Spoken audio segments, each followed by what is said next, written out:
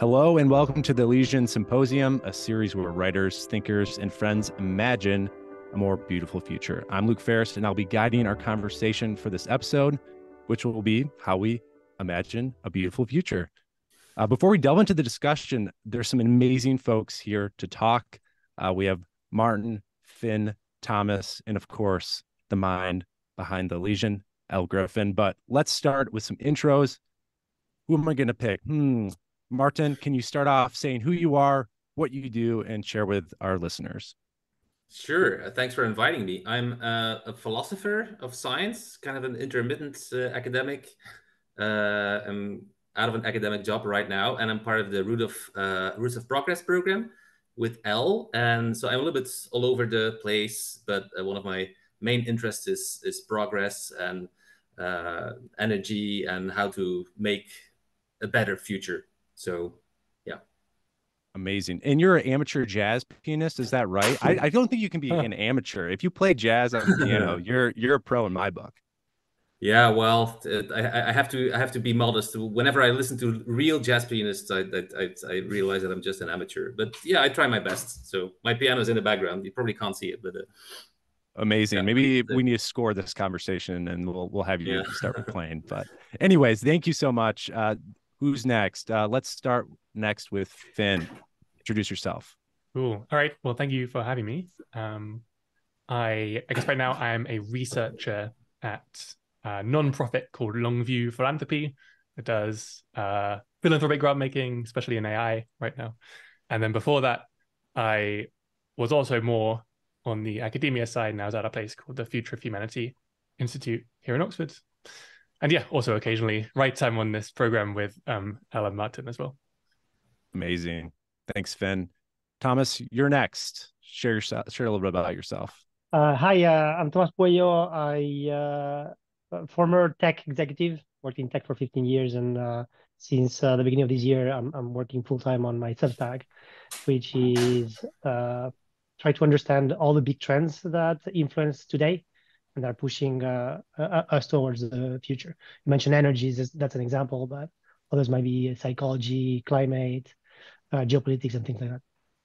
Amazing. Thanks, Tomas. And I feel like there's someone else on the call. Oh, yeah. Elle, uh, do you want to? I feel like people already know who you are. They should know who you are. But if they don't, can you just share who you are? Yes, I'm Elle. And um, I am studying utopian thought, uh, which is, you know, everything last 2000 years, every thinker that has imagined a better future, um, as well as what modern thinkers are thinking about how we can make that a reality in our existing future. So um, I'm excited to not be just swarmed in books by myself in my house and to talk to other people about these topics. Fantastic. I'm excited as well. It's going to be a great conversation today. All right, friends, I'm going to start out with a big one. How important is it really to create more imaginative, positive visions of the future? Just a small one. And jump in if, if someone has an answer right away, maybe a one word answer. Well, here's a non answer, right? You might want to make a distinction here. So you might think that if some culture or some time is producing a bunch of really inspiring visions of the future, then that's at least good news, right? So it's like indicative of something healthy going on. And it's important in that sense because it's like evidence of something else. But then a second thing you might be interested in is the actual causal effects of, you know, inspiring visions of the future. So like maybe in addition to being evidence, these stories, these ideas are actually getting people to become inspired to go and do stuff. That seems like the more interesting question here, and also the harder one because it's really unclear how you might find out. Yeah, I would just say, like, I feel that it's very important just because the predominant worldview, both in nonfiction and fiction, is a doomerist perspective. And I just feel like we're experiencing widespread apathy with just people around the world being like, there's nothing we can do. It's all going to go to hell. We're screwed. Um, and I mean, that is crazy to me. And I feel like that is be that is directly reflective of the visions of the future we're currently projecting. And I think part of that is journalism, because the nature of journalism is not to imagine something better, it shouldn't involve imagination at all. Journalism is to report on something that did happen, and problems are the most exciting thing to report on and certainly the most lucrative thing to report on. And so I think that in journalism we have this predominant perspective of of everything is going wrong. And in fiction, that's also the most exciting thing is to imagine everything going wrong. So I think that any future any vision somebody can have for the future that's good is definitely highly beneficial and even needed. Well, I'll just to piggyback on that, it goes to the the old journalism line: "If it bleeds, it reads," and a lot of cinema or storytelling or fiction, the more dramatic it is or the more painful it is, a lot of times creates the best stories because it's all about that struggle. I kind of always say if we're writing about these scary things, uh, maybe that means they won't happen, but maybe that I don't know if that's a positive vision. Um, like once we stop writing about them, then that's when I get worried. I don't know what you guys think about that. Yeah, I, I think um, when you talk about the future, and I mean, to some extent, everyone has some ideas about how to make how to make a better future, how to how to improve the world. Uh, but then I feel this, as Elle is saying, that many of these people um, believe that somehow the future, a bright future, is one in which we re- retreat to an earlier state. Uh, which, yeah, I mean, you could see that as a kind of uh, uh positive future, but it's a kind of positive uh, future in which we kind of uh, give back to things that we have already accomplished.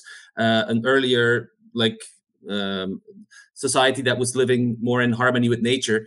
Um, I think it's it's like if you think about the future, it's I, I always think of it as a as a as a continuation of the of the past. Um, so you can think of a world that is even better than today, but I want to move in the same direction. I want to like keep keep going because obviously we're already doing something that is that is pretty great. Um, I mean, if you look, at the things that really matter, like like uh, child mortality and extreme poverty and, and, and, war and violence, I think we're, we're moving in the right direction. So I think, I mean, I'm, I just I don't want to just extrapolate and say just more of the same stuff, but I just I do want to go forwards. And for many people, even though they would probably say, yeah, I'm dreaming of a better future, but then when you ask about the better future, it's like, oh yeah, back to where we were like 50, uh, 50 years ago or 100 years ago, and that doesn't really qualify as a as a utopia to me. And and it's of course I, I don't really believe in this kind of nostalgic vision uh, in, in, in the first place. You you're talking about the uh, uh, these degrowthers, and, and and I think that's that's a super interesting um, topic here. So a couple of thoughts. Uh, one of them, I, I was studying all the foundation of American cities in the late 19th century and the early 20th century, and what you see is like they were very very thoughtful. They knew exactly what they were doing and they were building and building and building right? Like they saw uh, um, two rivers crossing each other at some point and they said okay here we should have a city right? And then and then they go there and they say okay we're going to um, build a railroad to here and then from here to here and they knew exactly where they, what they were doing just by looking at the geography because they could project into the future what was going to happen right? And then uh, i think first world war second world war transforms this mindset of we can build and we can transform the nature into into like shape it into into human thoughts uh, into oh my god uh, technology is actually bad. And and and and, and when you go back then to to degrowthers now uh, i think one of the big reasons why it's very popular is because it's very easy to know to to the problems that we have today and project them into the future right? We have a problem with co2 today or let's project it into the future. What happens? Oh my God, the seas go up and and uh, uh, uh, temperature goes up and whatnot. Uh, whereas when you're doing utop- utopian uh, fiction, what you need to imagine is the current problems are solved, and then new problems emerge. So how do you think about these new problems, right? Because one of the reasons why there's no utopian uh, fiction is because, well, if the problems of today are solved, then everybody's happy. So there's no conflict, so there's no story. And so you actually need to figure out new problems. What are the new problems that are going to come up once we solve the current problems? And I think that is a, the key leap in, in, in, thought processing that, that happens and prevents a utopian uh, uh, narrative. Mm-hmm. Um, it's been pointed out that, so as a thought experiment, suppose that our primate ancestors were asked to describe their idea of utopia, the kind of world that we could build with all of our technology. Well, it seems quite likely that that the world they describe um, would involve unlimited bananas, you know, unlimited trees to swing in, and maybe not much else. Um, a faster horse, right? Right, exactly. And presumably that applies to us because um, it's very hard to imagine the problems that will emerge once we solve the problems now.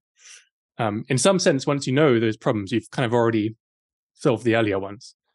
Um, but that just feels like a useful thing to bear in mind that if we're just asked to describe in any detail what you know the really bright futures could look like, um, we shouldn't be so hopeful that we can get the details right, but we should be hopeful that we can at least care about them, at least get some sense of the broad strokes, the kind of scale and. The... and, and, and that, that's the entire challenge, right? You, you want to create a world that is uh, aspirational, Mm-hmm. But if you just create a world that's aspirational, that's boring, right? So, mm-hmm. so you want to do the mix of look at this amazing uh, future, and yet it has all these new problems. And, and I think that, like, h- how do you come up with these things? I, I, I was uh, watching some uh, Brandon Sanderson lectures a few years ago. Uh, he, he's the author behind um, uh, what, what's the Mistborn. What, what are his books? Like he's super successful. Again, Born. Mistborn, right? Yes, of course. To try. Yeah, trilogy exactly. And so super, super successful. And and, and he goes on and on about like building uh, uh, uh his his worlds, and he he takes several lectures on, on how much he builds it. Uh, and so there's so much work on doing it, and yet he barely scratches the surface. And and it's he's basically applying existing problems into a different kind of world, but existing problems. And so, and so to, for you to come up with these new problems, the, the amount of processing that you do is, is, is a lot, which uh, I think it's, okay, how do you go to, to, to first principles on what are the things that drive people, right? And, and how do these instincts apply differently in a way that's completely in a world that, that, that, that has already solved some of them, right? So for example, one thing they can say is two things that humans will always want are hierarchy and sex, right? And these two things are unsolvable by technology because by definition, they are uh, uh, they are defined by the scarcity of human other humans, right? And hierarchy, you need to be on top of others, and then sex is like you, you even with AI and whatever, you cannot have sex with other other other other humans. Like it's not the same. Like there's, there's, a limited amount, right? And so you can imagine a world where okay, a lot of the sex is solved with robots, with virtual um, uh, worlds and things like this. But then there's a premium on sex with real people, right? And same thing for hierarchy. You might have hierarchy in in in uh, in like in like software hierarchy, but then human hierarchy is still valid. And so, how do you create like how do you use these two scarcities as much more core of the issues in the future whereas material scarcity is solved and i think like this is the type of thinking going like down to to, to first principles of the core drivers of humans that, that i think we need to do for for future uh, future narratives it's interesting because you bring up uh, like a lot of the things we've talked about so far were kind of technology specific futures and i think that's interesting because with technology you could imagine that unlimited things could happen. I mean we could do anything. Um, but one thing that we know for sure is that because you know Tomas, you were just talking about um, about what all exists hierarchy. Um, dictators will probably always exist, or will always try to exist. We'll try. I'm not sure that we can like we might be able to with technology do everything, but can we change human nature? I don't know. And so but uh, so that, that it's yeah, it's interesting what you say, right? Because uh, there's you can imagine a world in a few hundreds or thousands of years where like there's no material scarcity, right? Mm-hmm. Uh, um, but then there's also a transitory period in which there is, right? And so then you can imagine near future science fiction where uh, some scarcity is eliminated, but some other is. Like for example, uh, imagine that in 50 years to 100 years, solar, wind, nuclear either fission or fusion solves energy, right? Okay, what are the consequences of this? Well, if you solve energy, you need to think what other scarcities are solved. Actually, food is is energy, so you solve food. Right? And so, and, and then you, you, solve like a few more issues. Transportation is, is solved, like the speed of transportation, things like this. And so then you need to think, okay, you solve energy, then you solve all these other issues. What are the other issues that remain? And and I think like hierarchy and sex will, all, will always be true, but then there's other scarcities that might still exist. Like for example, I don't know, land, right? It might take some centuries or thousands of years to get more land in in uh, in uh, in other planets. And so, how do we figure out what happens in a world where you have plenty of food and entertainment and whatnot, but you don't have uh, enough land?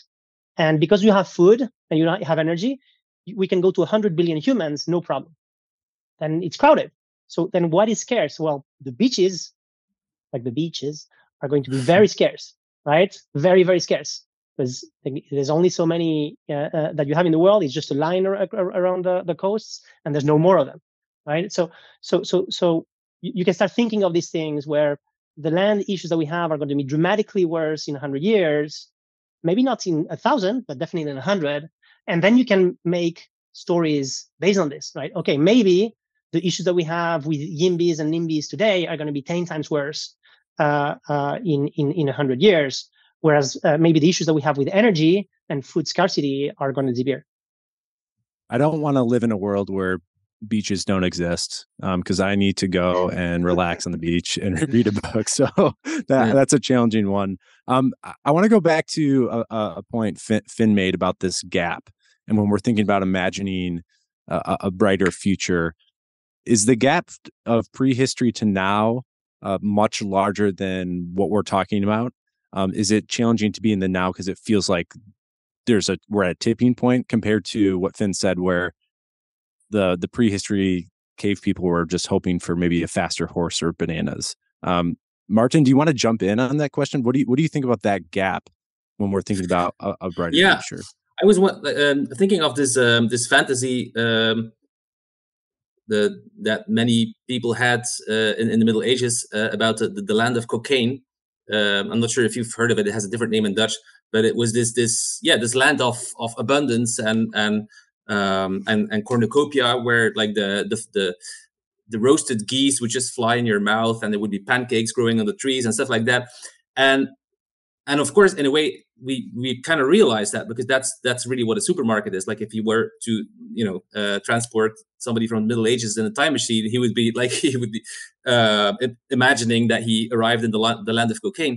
But then I, I guess that there there's also plenty of other things that um, didn't even occur to someone in living in the middle ages because it was so far out of like the ordinary even something i'm going to try to take a mundane example like like a, a, fridge just the idea that you can produce artificial ice and you can just keep food fresh. I mean perhaps someone in the middle age would have thought like oh perhaps the food just does, doesn't doesn't rot or just does, doesn't go bad. But just the idea that you can have an artificial device that just creates ice and keeps the food cool there's probably plenty plenty of stuff like that. I guess flying would be because it's like you just extrapolate oh we, we want to do whatever the birds are doing. So that's that's kind of easy. But i, I guess there so you know thinking of our uh, uh, vantage point when i was just l- listing things like child mortality and extreme poverty and and like an, an, abundant energy i mean all of these are kind of conservative and modest in the sense that oh yeah it's just more of the same stuff. It's mm-hmm. it's like along the same continuum but but a little bit uh, farther.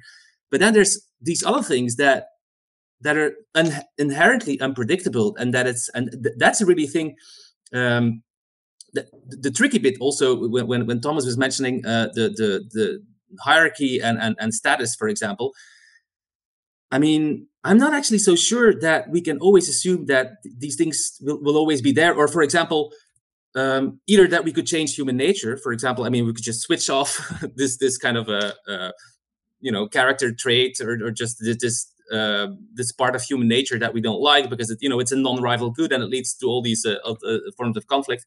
But then on the other hand, I mean, I'm just uh, thinking out loud now, but for example, for aspiring dictators, like the people who really want to rule the world, perhaps they can have like experience machines. Like you know, uh, Robert Nozick is this philosopher who came up with experience machine, where everything looks exactly real and it's a perfect simulation. Like if you really want to be Hitler or Stalin, like rather than actually conquer the world, we just put you in an experience machine and you can have everything that you desire. Um, anyway, so I'm just just saying that there's probably stuff that from our like with our feeble imagination that we cannot even wrap our heads around because it's yeah because it's so far it's so far removed from everything and everything that we're familiar with.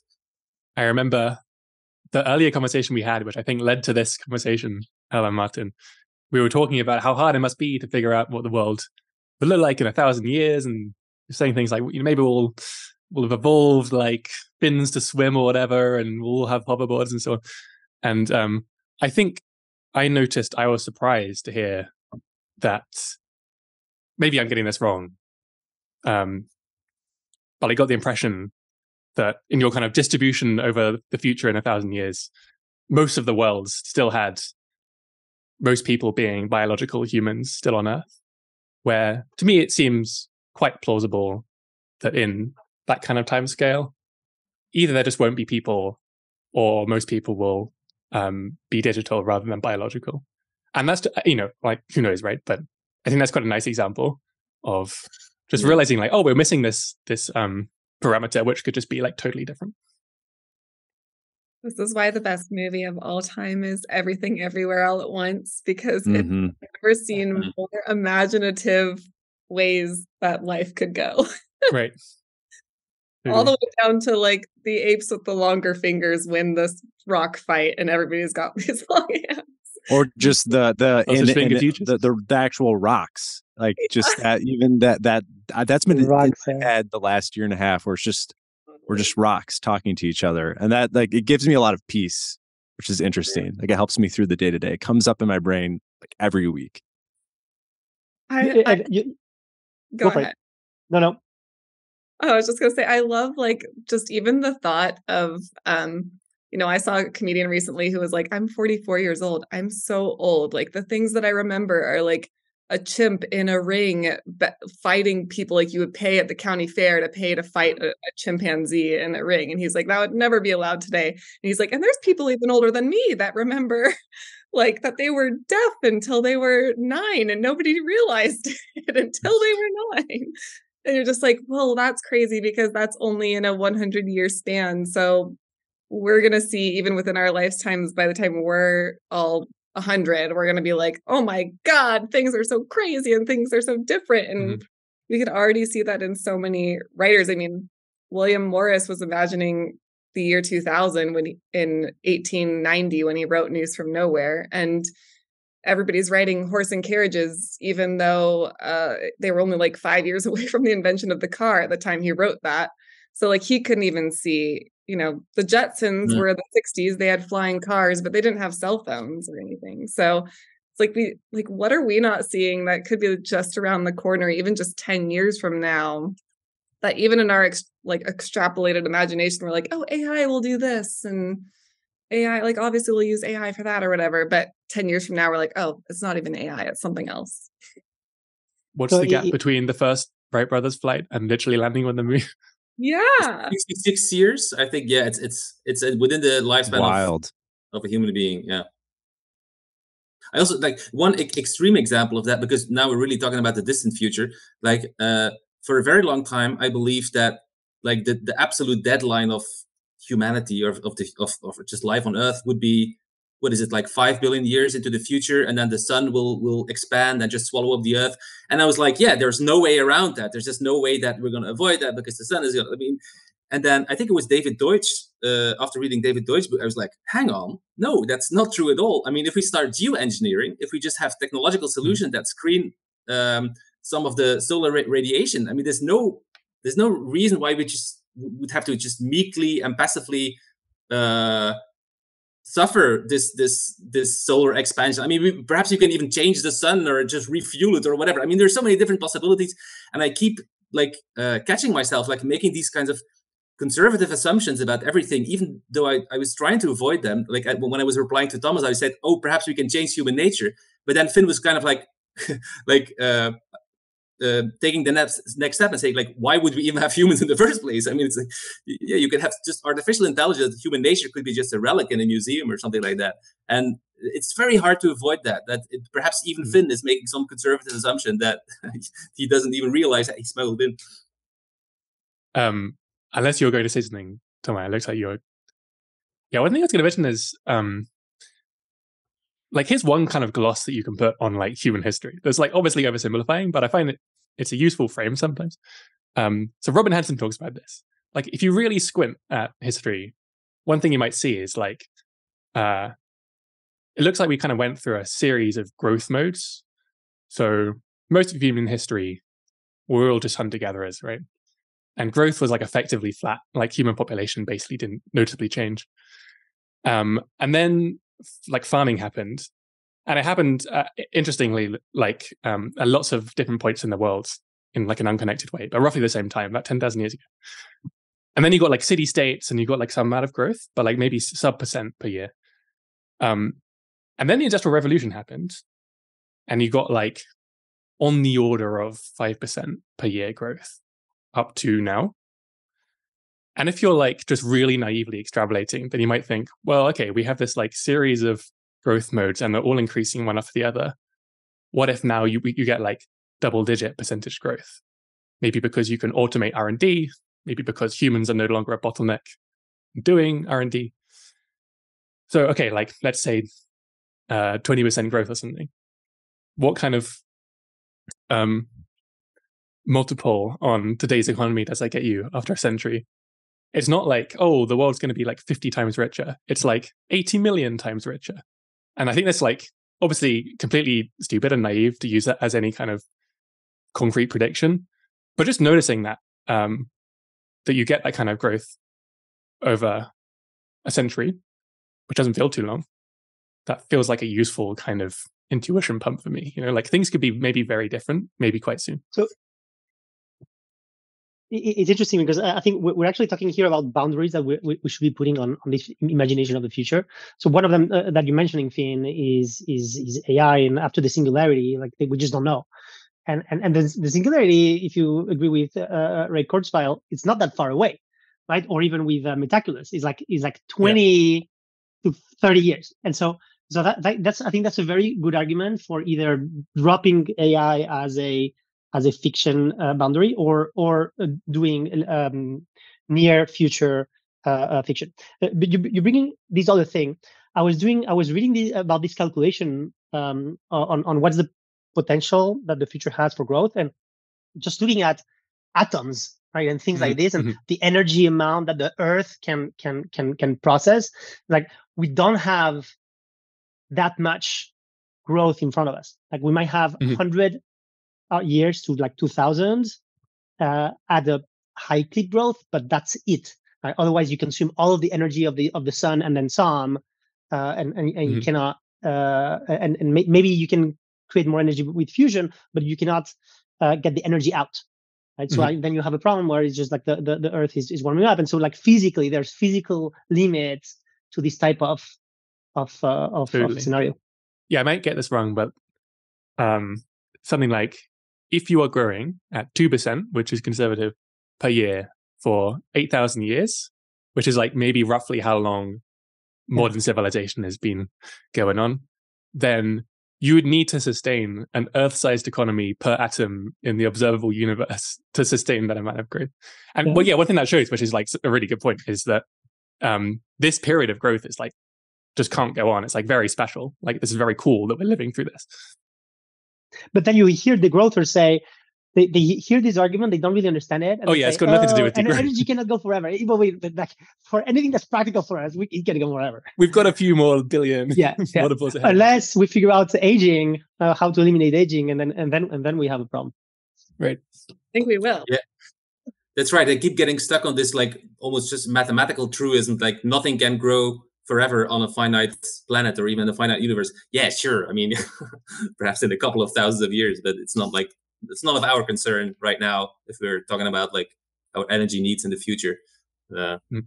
and, and, i think so uh, interesting uh, uh, uh, new point here on this one of the debates that I think I was into, but I think I'm less into now, is is about fertility, right? You you hear the two sides now being extremely polarized about fertility. Like one side of the growthers, no, we need to stop having babies, and we're just talking about the problem. But the, there's the other problem of, oh my God, we're not having enough babies, and uh, and I think, and I was worried about it these two, but then then I thought about it a bit more, and I'm like, wait, hold on, it's going to take us many decades, probably centuries, for this to be really problematic.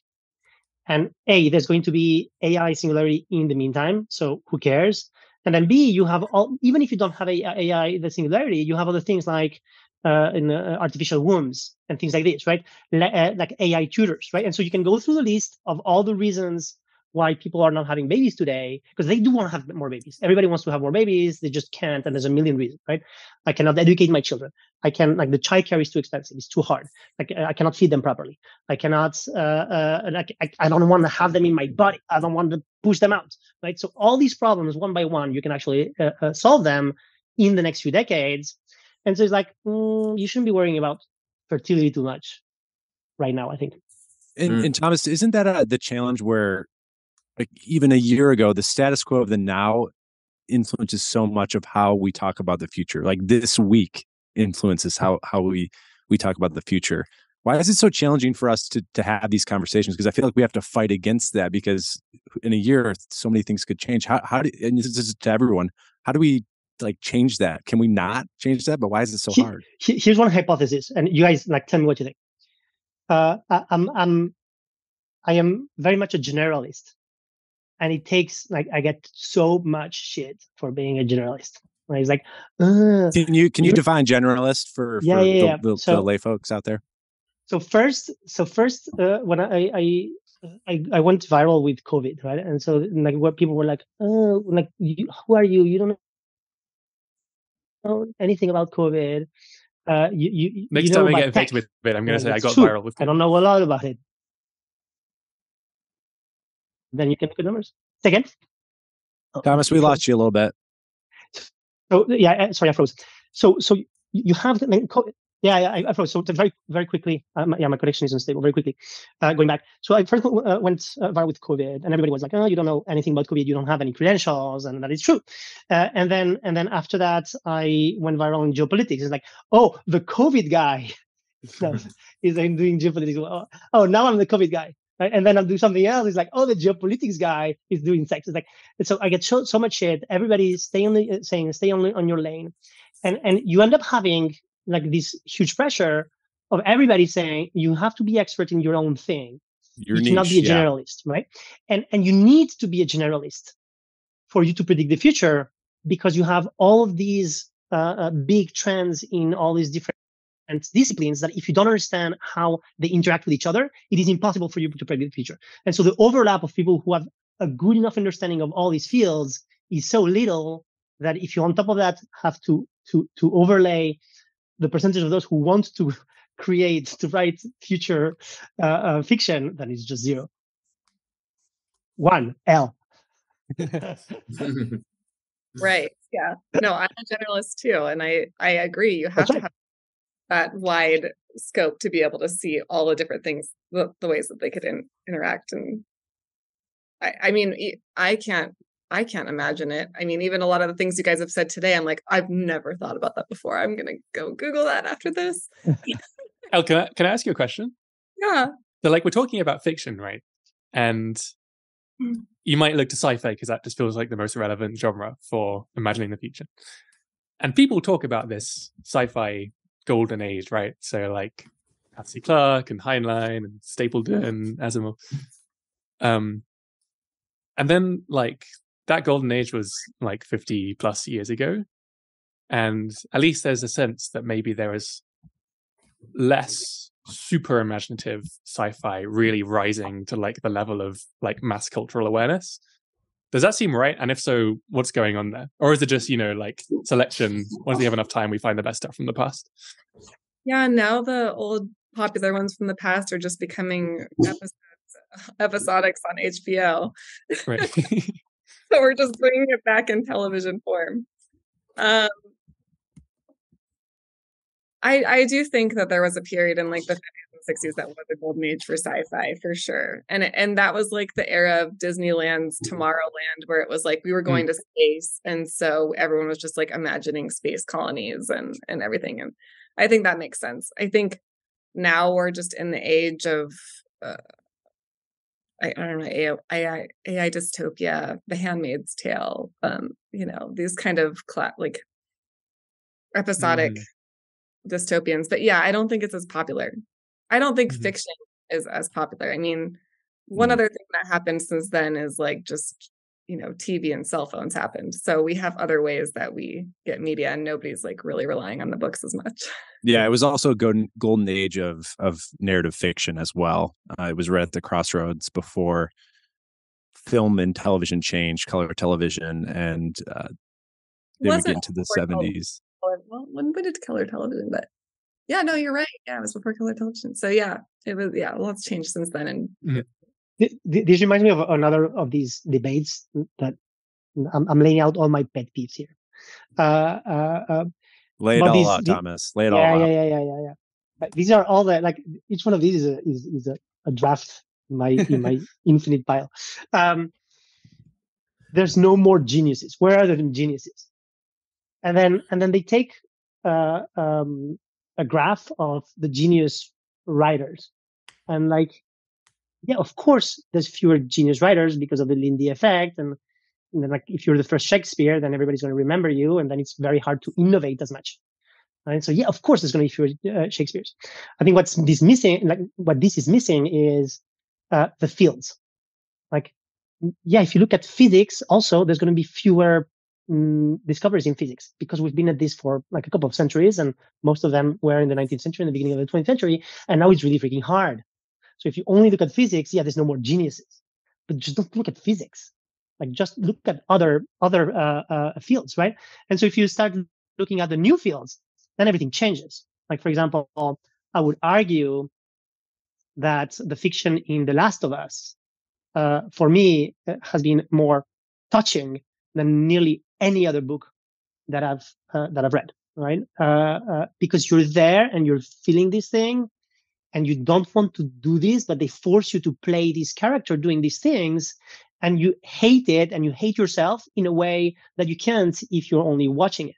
And uh, so I feel like things like The Last of Us or, or, or video games like this are innovating in a way that is is unbelievable. And so if you take these new fields, then you have these geniuses, right? And I'm sure in a hundred years somebody's going to say, "Oh, we don't have more geniuses because look, in video games, everything was invited, invented in the in the golden age of the 2000s and the 2020s." so It's a great point because uh, video games are also a medium that is uh, has the ability to be long form. They can be short form video games, but Right. really in depth and immersive experiences like reading um, beyond where a screen and getting a story. As much as I love it, uh, it's it's like it's not really a two way conversation. You're not That's really right. putting yourself in the character or the situation's shoes. Um, and so there's so much invention that can be done there right and so you can trans so that's true for for for for art but then obviously it's also true for for the industry yeah you're not going to find a lot of physics geniuses but we have satoshi nakamoto right like oh my god like freaking crazy where did you pull this off we have the people who who write the transformers papers that create freaking like freaking agi this is what llms are basically agi like it's like or m- it may be narrow ai but they, they're, they're close to it and now it's like, oh, it's normal. Um, two, two months later, oh yeah, yeah, this is normal. Like this is freaking crazy. And in a hundred years, when they're gonna look back at these papers, like, oh my god, these were geniuses. We don't have these more geniuses anymore. Oh come on. Yeah, that, that Just be- actually also ties in with this this uh, um, nostalgia for the for the past and just the glorification of just all the the people who went before us. Like this, I think it this is quote by it's it's either Thomas Hobbes or David Hume. Like uh, that man, like um, we tend to glorify uh, past geniuses because man compete with the, the living and, and not with the dead. So it's kind of easy to say like, oh no, we're never gonna achieve like the perfection of Bach or, or Mozart, or even it's even offensive to compare any physicist to Isaac Newton because it's like, oh, these were the greats. And yeah, I guess you're right, Tomas. Like in, in hundred years, I mean, they're gonna say exactly the same thing about us. Like we live in the like we're only, yeah, not standing on the shoulders of giants. Like we're just so small and, and insignificant compared to all these these greats that went like even like in in in, in music for example uh you, you see this this this canonization? Is that is that, is that the word? Like it's just a in in jazz for example it had in, in the span of a couple of decades and now like john coltrane and miles davis and these are like the legendary names like the, the real geniuses of the past and like you cannot compare any like uh uh musician living today to any of these you know real geniuses. There's always like a, I guess, a tendency to to think that, uh, yeah, that that we're that that that that that, that we don't compare very well to the to the past to uh, accomplishments of the past. How does that, as all thinkers, writers here, how do you individually deal with that fact of you're trying to produce and think and, and do things and do your work, but you're in the midst of you're competing with the nostalgia of the past and the in, insanity and the fast paced of today. How do you all wrestle with that when you're, you know, having your tea and coffee in the morning and trying to do your work? I mean, I think all the time about how I'm in the wrong field and like how I like even if you even if you look 20 I mean what is it 20 million is it 20 million people on Substack or whatever um even if you look at that that is still seems really small compared to the amount of people who watch a TV or play a video game or um you know do like are participating in other mediums and I always wonder, like, okay, sure, maybe Substack is the next evolution of writing. It's maybe how we're uh, disseminating ideas today, um, but in written form. But is that really how we're disseminating information? Like, what what will be in the future? How we how we have these thoughts and share them with each other? Like, it seems even what we're doing now just feels like it's going to be outmoded so fast. It's eliciting a couple of thoughts, and you guys cut me whenever you want. Um, see, otherwise I'm gonna keep going. Uh, um, uh, uh so, so uh, uh, maybe three three thoughts. One, um, I, struggle a lot because people want newsworthiness. They want things are highly relevant today, but what's relevant today is not what's really really important. And so there's a there's like that's the first thing. The balance between uh, what's really important versus what's um, urgent, and people preferring the urgent to the important. Um, you mentioned new new uh, other media, uh, Ellen. I think you're very right. Especially right now, short vertical video uh, is huge uh, across you know YouTube and Instagram and TikTok. Huge, huge, huge. If you want to reach, you want to. You, that's what you need to do. Right? And so uh, uh, th- there's a big question of like, okay, writing. Do you do that because you want it, or because it's the thing that you're good at, um, or because it helps you think right? And if it is if it's the latter, then okay, like mm, how much should you should you spend on thinking versus then doing for other media? Uh, and and as a result, how much you should uh, ex- become an expert in video, right? Which is the problem that you were discussing at the beginning of the hour of oh, I cannot do video well, and so on and so forth. I think the, the third the third thought is uh, what is the next uh, medium that that comes, right? And uh, people talk about virtual reality, and I think to me, the, the, the, there's another one where uh, that's very orthogonal, but I, I, this is the one that I keep thinking about all the time, which is collaborative uh, uh, content making, right? And so maybe not for fiction, but for nonfiction, absolutely.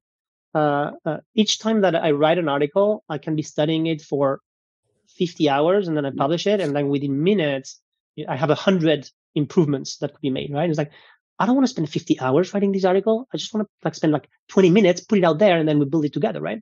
And so this is the type of of, of collaborative uh, uh, content building that I think is going to come that I'm excited about.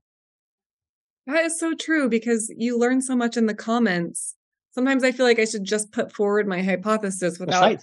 my research behind it and just say, "This mm. is my hypothesis." You guys all have like right. niche knowledge points like bring them to the table and finish the story and so and so I, I, think we're in this in this moment right in where w- what is like what is substack it's just like you grab the essay like on paper the paper essay and then you put it in the internet the same way as at the beginning of cinema you, you take the theater and you plug it in front of a camera but then somebody re- starts like reinventing cinema right based on the camera camera angles and zoom in and blah blah blah and so okay what does the essay look like in an internet world and it definitely isn't uh, uh, a blog post. It is definitely not a news, new, new, newspaper article. It is something else. And I think the collaboration aspect of it is has to be the future of of the written medium. You know what? I think it's Cunningham's law. It's like the best way to be to get the right answer on the internet is to post the wrong answer on the internet. Yes. Works it. So true. And I hate that that just invalidates all your research. So then you're just like, I wish I didn't research that. right. I can say with confidence, it does matter that you put work into the essays, Elle specifically, because I'm a I'm a subscriber. It does matter. Uh, I think you all were are in the work, but I think people really value to sit with ideas, and re- reading and writing is still the best way to do that. Um, you're not going to probably. I, I, haven't learned a lot from TikTok uh, videos. I've laughed a lot at silly videos, but I haven't really been able to sit down and have in depth understanding, which I think hmm. reading and writing allows you to do. Um, in a world of distractions, we need moments, whether it's a physical book, whether it's reading uh, your Substack app, to sit down and marinate in an idea. Yeah. One side note here I don't know if this is relevant, but it's this weird situation where most academics, at least a median academic, is really functionally writing for an audience of like, I don't know, 20 people. How many people are actually reading, you know, theses or papers in some sub subfield? Um, but these people have like deep knowledge in some important niche. And if, I don't know if you guys have just like found some academic and emailed them and asked if they could like chat because you're interested. They're like so happy to get that email so much of the time. Um, this feels a bit unstable. Like feels like maybe there's more opportunity to just tap all this like knowledge that currently gets put on some um some journal and read by like 12 people. Maybe your advisor reads half of it and gets bored. We need to change ac- academic writing. I do not get why we still make that the format. I mean, even when I was doing my graduate studies, like I the way that I had to format my writing to make it applicable to an academic audience that would never read it was so intense that I was like, nobody will ever read this. So then I had to like, I would write it for school and then I would deconstruct the whole thing and make it like make a version that was palatable for the internet and post it as mm. a blog or whatever. But like, mm. That's silly. Why can't you just make it publishable from the very beginning? Like, we should change that. Mm. And so the, the philosophy the, is even a. no, go ahead no in philosophy it's even worse in in in the in that like if if if your writing is accessible and and, and a lay audience can can understand it oh then it's not real philosophy it has to be you know obscure with a lot of uh, like uh, pedantic uh, jargon and and because otherwise you're just throwing pearls to the swines. Like it's a really like I'm, I'm teaching still to, to philosophy students and it's not, nothing is easier than making things complicated and all of them are doing it because they're so intellectually insecure and they want to they, they only want to write for these these 20 people who are specialists because they want to you know otherwise they're selling out or whatever like anyway this is just a pet peeve of mine tomas. No no i'm i'm, I'm thinking you're making you guys are making me think uh, uh and uh, your background is philosophy my, background is is um, right and and uh, when uh, uh luke you mentioned the um, the fact that you appreciate uh, Elle's uh, articles, my my mind immediately went to, well, would you appreciate them better if instead of spending 50 hours per article uh, on just thinking and then publishing it, she spent 50 hours, but with 10 iterations, right? Where five hours she puts it out, feedback, and then she has iteration cycles, right? And so, and so, uh, uh like all this uh, information iteration is a lot of what um, startup uh, design is about, right? Why are like startups more more productive? Because you have a fast fast feedback loop in, in information between only a few people. They're fast decision makers. You don't need to make uh, uh to to involve anybody else. Uh, right? And so and so these these iteration cycles. So I think it, it, changes the question around what is the scarce resource, and the, the scarce resource for the for the content producer is the is the time to spend on it, but then and then for the consumers there's the time of the, the time of consuming but then there's you have you have these other group of people who I think is discounted, which is the ones who participate, right? And that is an untapped resource. You have a lot of people who would be willing to spend a bit more time than just consuming and iterating with the creator. And so that I think is, is the piece where okay, can we change completely the way that essays are written or content is made, where you involve these people who are willing to put their resources, but you need an infrastructure to enable this input uh, to, to, to, to be put in, and then and then the iterations to, to happen fast. And I'm sure the essays that would come out of that would be 10 times better than they are today. I love that idea so much. Almost like, okay, we're all going to write a Wikipedia page together. Here's the topic everybody bring your expertise and like let's all edit it together and and like compose it. That would be super fascinating. And, and so that's interesting. I, I love this, this comparison because like if you take then the, the, the the startup, right? So if you do that with two people, it works, right? Because they can uh, uh, uh, riff off of each other. But if you have a thousand people, that doesn't work at all, right? And actually, mm-hmm. you need a massive vision at the top. Right? And you need to be very, very clever on how you create the culture, blah, blah, blah. and so and so. I think this is the equivalent here, where if you're a writer, uh, a writer, uh, you have this holacracy, right? Where they have one person, like you need, you do need a person on the top laying out the vision, and the, and the theme is not enough because people cannot really interact. You need to lay out the vision, and they need to lay out the interaction dynamics between all of them, which is the culture, so that everybody needs how to like knows how to interact with it. And so and so it, it is it is not a is not a, a, a standard thing, but if you think about it, like what we're talking about right now is not something that exists at all. It's something that will be existing in 20 years and then back to the genius genius thing, like in 50 years, somebody is gonna say, "Oh my God, the people who invited this thing are amazing, and and they were so so so so amazing geniuses." When in fact, we have these things in front of us that we could be creating. I feel like you I guys want to go ahead, Fin. Sorry, man. I just wanted to raise like maybe a gentle counterpoint or something, or at least express that I'm, I'm confused about this. So maybe one question here is: It seems like we already have the tools to write collaborative books and posts and so on and if they are much better, then there's at least a question of why they don't already exist, right? Because surely they'll just do very well. And then another thing that came to mind is maybe kind of random, but Wikipedia sounds like a great example, right? Because it it's this kind of miraculous collaborative online document, and somehow it still it, it works. Like anyone can edit it, and it's not a steaming garbage pile. Um, but Maarten, you'll you'll um, know this philosophy, at least academic philosophy, has its own like mini Wikipedia called the Stanford Encyclopedia of Philosophy. And it's mm-hmm. always like the go-to website before you go to the Wikipedia page for the philosophy thing. And um, the model that they have is rather than having collaborative pages, they just have editors. The editors will say, who's the person to go to on this like random yeah. topic? And then they'll get them to write the, the thing. They'll edit it like they're editing a book, but it's a single author. And the average quality seems to be higher in my impression, and that feels at least suggestive. Anyway, that's my gentle pushback. yeah, is, is that? I, I think there, there, are two themes in, in, what has been discussed uh, the past couple of minutes. Here, you have the collaborative aspect uh, of of writing and um, exchanging ideas and, and riffing off on each other's ideas, etc. But then there's also like at the the, the question: at, at what moment do you release your ideas into the wild and and you know uh, and welcome feedback? And i guess like i have some hesitation uh, about putting out some half-baked ideas out there because i'm always embarrassed when i say something wrong.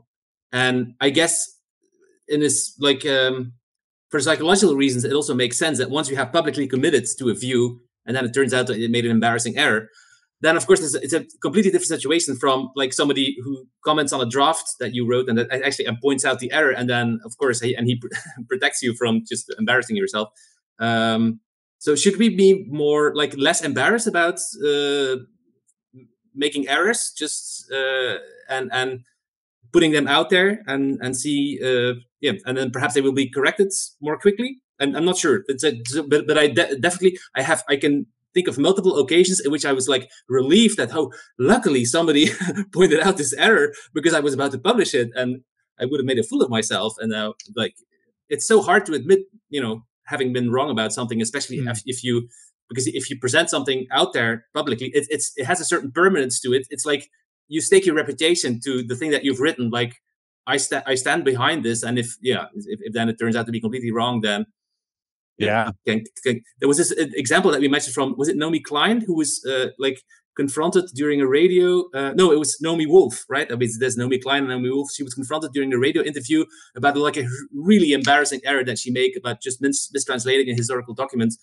Um, and that's like the worst nightmare, I guess, that every writer can have that you publish a book and then it turns out to be, oh no, I made this huge, like glaring error. Like I'm so I, shameful. I, I, I don't know my personal feel is like I'm totally okay with putting something out that's wrong. And in fact, I feel like that's almost the rule and not the exception if I'm even going to look back at my work 10 years ago, you know? Yeah. I think I've been talking with somebody online about Plato's Republic and we've been like parsing through it. And um, it is so funny our different takes on it uh, because um, there's this huge argument of like, oh, we've read every single thing Plato read, and some of these things contradict each other. So what did he even think? And all you know, Socrates is the main character in all of these, and and how much of this is his philosophy versus Plato's, and and all this stuff we can't ever really know. And then I started thinking about this, and I was like, me and this guy are debating about this on the internet, what he could have possibly meant by this book based on all the other books he wrote and everything. And I'm like, oh my God, what if somebody read all of my work and then tried to explain what I thought about things? Then yeah. they would totally get me so wrong because I have written about so many wild ideas. And to me, the point is just like, put the wild idea out there so that we can like think about it and i don't like care if it's right or not it's just like an idea and and it could be i could i could write the exact opposite thing in two years like i don't yeah I, yeah and, and that's that's what this symposium is about, friends. Uh, to, to bring it back, uh, we're we're we're getting close on time. I, I feel I felt like this was going to be a problem where we could talk for four hours, but we're not going to. Um, I want to wrap up with some takeaways for our listeners, viewers. What's your favorite science fiction imagining of the future? So, shout out some recommendations. I know we've dropped a few here in the conversation, but you know, for someone to take away, or someone that was trying to delve into more science fiction imagining of the future, what would you recommend? I still think everything everywhere all at once is the most imaginative. Looking at my Goodreads. Well, yeah, I'm also get up your Goodreads, get your letterbox, get it all the lists. Yeah. So I'm I'm a, a big fan of uh, Andy Weir, right? Uh, mm. uh, the Martian. Uh, I just read a few weeks ago. Uh, uh, Hail Mary, Project Hail Mary, and what I love what he does is he really, really, really understands deeply, right, all the physics. And then he changes, he, has one small premise change. And what if this thing happens, right? Uh, uh, in the case of Project Hail Mary, I'm not gonna like change like anything for you, but uh, he's imagining it as well, where you you you meet aliens that are actually not that advanced, but they're very physically different, right? So what this could look like. And then he builds everything else around this premise. Um, and, and, I think that works really, really well. Um, because going back to what we said at the beginning, um, he, he, the world build, building is, is, is unbelievably uh, deep. He go, he understands the physics. He understands all the ramifications, all the physics that need to happen. He only changes one thing, and then he can he can follow all the ramifications through. Uh, and I think that's what gives the, the, his fiction so much richness. I was thinking of examples, and I just realized that all of them are not especially positive. Yeah, kind of which goes back to this beginning of the um, conversation. Um, right. The thing I was, that came to mind first was this very strange book called The Age of Em. Robin Hanson wrote. He's an economist. He's like noticeably not a fiction writer, but he's just trying to try to imagine with his like very economist mind um, what a world of digital minds could look like, where they're running very fast, or like emulations of human minds, they're trading with one another. Um, it's like super weird, but like such a cool exercise in like actually seriously trying to imagine what some outcome could look like. Uh, and then also other things that came to mind. Olaf Stapledon, Star Maker, for like sheer scale is awesome. Greg Egan as well is great the culture series. Uh, also, three body problem. I love that. It was really fun. Maarten, what about you? Yeah, I, I have to admit I don't read a lot of uh, science fiction, but uh, I, am going to mention a book that that Elle and I were uh, uh, talking about recently. Although I can't really recommend it, but it's the last science fiction novel that I read. It's uh, Ministry for the Future by uh, Kim Stanley Robinson. And so, even though there's some parts of it that I think um, I like and I approve of, like the can-do mentality, um, and that he, uh, the fact that he takes geoengineering seriously, uh, unlike many other uh, climate activists, like spraying water on uh, glaciers and, and ice caps in, in, in, Antarctica. But then on the other hand, there's the there's the kind of anti-capitalists, anti-modernity, uh, you know, uh, anti-neoliberalism stuff where it feels like okay even though the it's it's an optimistic novel in the sense that it has a you know a happy ending and and all all, all ends well after a couple of million people die because of heat waves etc but but the bright future is like the, the, the thing i mentioned in the beginning it's like reverting it's to something that we had earlier like all just undoing all the all the you know alleged mistakes that we make by just you know being obsessed with economic growth, etc. So um, yeah, I'm just gonna read all the books that you recommended because obviously I've been reading the wrong science fiction. Amazing, uh, Tomas. Where can we find your work? Where can people find your work? Uh, I'm on uh, Twitter at Tomas Pueyo without H T O M A S P U E Y O, or uh, on uh, Substack at Uncharted Territories. Then where can we find you? Uh, where am I? I'm at Fin Moorhouse on Twitter. Also, I have a website, finmoorhouse.com, F I single in.